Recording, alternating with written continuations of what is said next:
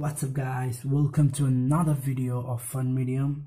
So, let's not talk more and let's start the fun. So, আজকে হচ্ছে আমাদের ICT নিয়ে প্রথম ভিডিও আর আজকে আমাদের আইসিটির আলোচ্য বিষয় হচ্ছে ডেটাবেস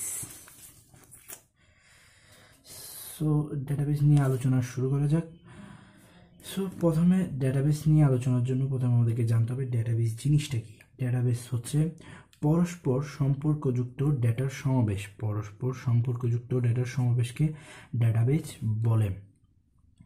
ফর এক্সাম্পল যেমন স্টুডেন্ট স্টুডেন্টের সাথে রোল তারপর ক্লাস সেকশন পে বা পেমেন্ট অর্থাৎ তার বেতন টাইপের বেতন।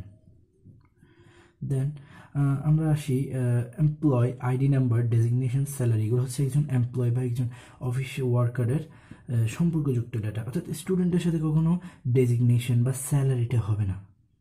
স্টুডেন্ট যখন আমরা স্টুডেন্ট নিয়ে কোনো কথা বলতে সে যখন একজন টিচার হিসেবে কোনো কাজ করবে, তখন হয়তো তার ডেজিগনেশন আর স্যালারি আসতে পারে। কিন্তু যখন স্টুডেন্ট নিয়ে কথা বলে, সে একজন স্টুডেন্ট সে কখনো ডেজিগনেশন বা স্যালারি পাবে না। আইডি নাম্বার হবে না রোল নাম্বার হতে পারে, সে একজন এমপ্লয় না। ঠিক আছে? সে এমন, তো এমন হতে হবে যে ডেটাগুলো যেন পরস্পর সম্পর্কযুক্ত হয়। স্টুডেন্টের সাথে roll number class section payment অর্থাৎ পেমেন্ট বলতে তার পেমেন্টটাকে বোঝাচ্ছে মোবাইল নাম্বার আরও অনেক কিছু হতে পারে যেগুলো হচ্ছে পরস্পর সম্পর্কযুক্ত।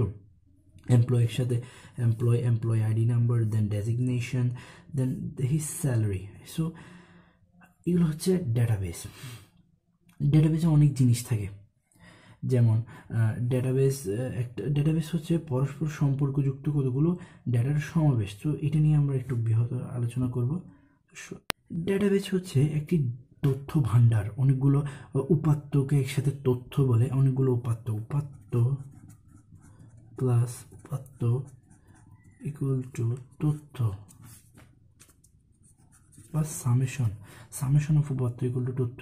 তো এখানে আমরা প্রথমে উপাত্ত রাখি, উপাত্তগুলো তথ্যে পরিণত হয়।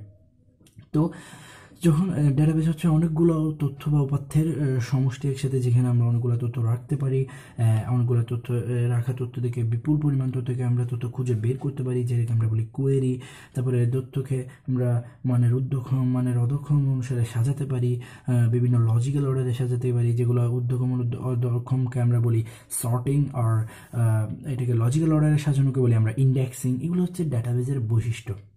ডেটাবেস ডেটাবেস অনেক ধরনের হতে পারে। ডেটাবেস অনেক ধরনের হতে পারে অনেক কাজের হতে পারে। যেমন ধরেন, সকল ধরনের ব্যবস্থাপনার জন্য আমরা প্রায় ডেটাবেস ব্যবহার করে থাকি।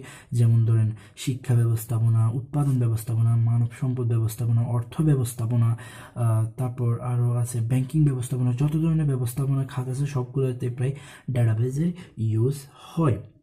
সো আজকে আমরা ডেটাবেসের কিছু মৌলিক জিনিস, কীভাবে ডেটাবেস কী কী জিনিস নিয়ে ডেটাবেস গঠিত হয় সেগুলো জানব।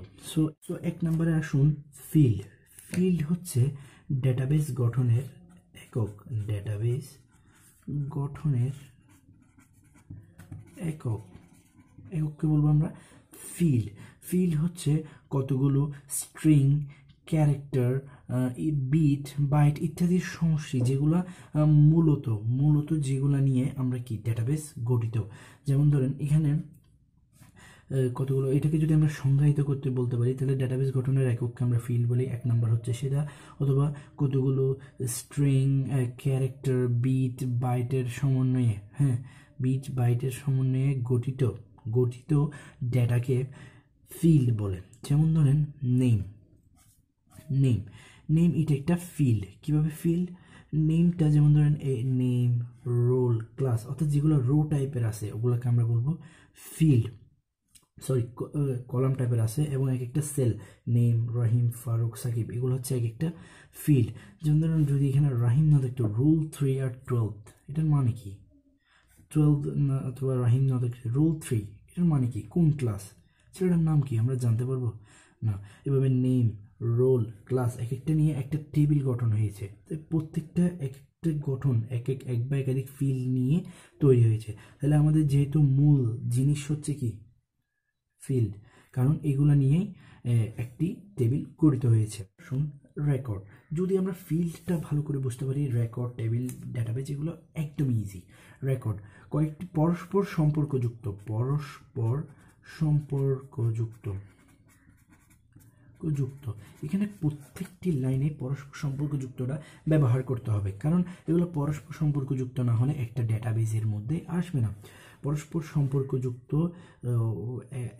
একাধিক একাধিক ফিল্ডকে ফিল্ডকে একত্রে একত্রে রেকর্ড বলে রেকর্ড বলে। যেমন ধরেন নেম রোল ক্লাস এগুলো এক একটা ফিল্ড যখন এগুলো একটা ফিল্ড একসাথে দেখি রাহিম রোল থ্রি ও টুয়েলভ ক্লাসে পড়ে। রাহিম রোল থ্রি ও টুয়েলভ ক্লাসে পড়ে, তখন এটা একটা হয়ে গেল রেকর্ড অনেকগুলো।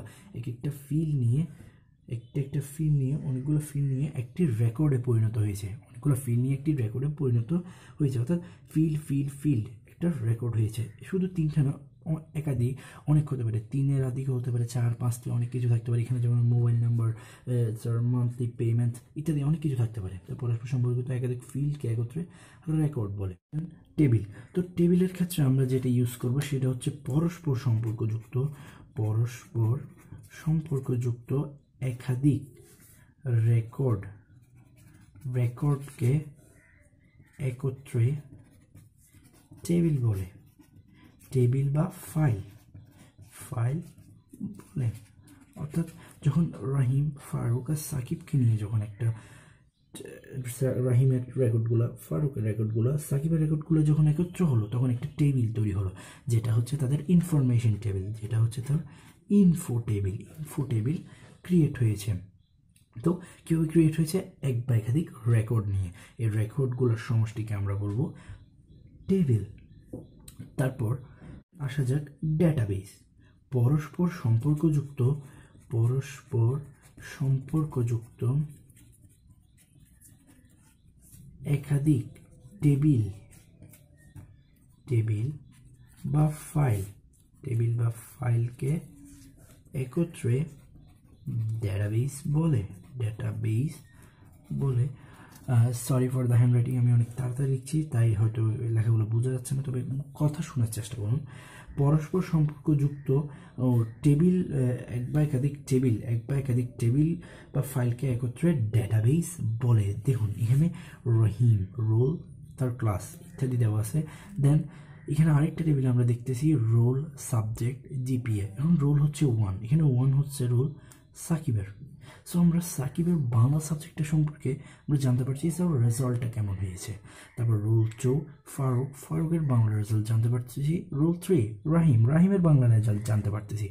সো যখন একটা পরস্পর সম্পর্কযুক্ত টেবিল একাধিক বা আরও বৃহতায়তন তথ্য নিয়ে যখন আমাদের সামনে আসে, যখন অনেকগুলা টেবিল এক, আলাদা আলাদা তথ্য নিয়ে একসাথে একটা জায়গায় অবস্থান করে, অর্থাৎ পরস্পর সম্পর্কযুক্ত টেবিল বা ফাইল যখন একত্রে একটা জায়গায় অবস্থান করে, তখন আমরা বলব এটাকে ডেটাবেস তখন আমরা এটা পরস্পর সম্পর্কযুক্ত ডেটার সমাবেশ, পরস্পর সম্পর্কযুক্ত ডেটার সমাবেশ। আর তাদের এই ডেটার সমাবেশ, এই ডেটা বেসটার নাম হচ্ছে স্টুডেন্ট এটা হচ্ছে আমাদের ডেটাবেস এটা হচ্ছে আমাদের ডেটাবেস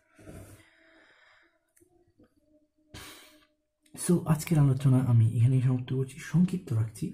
নেক্সট আরও আলোচনা নিয়ে আসছি। ধন্যবাদ। তারা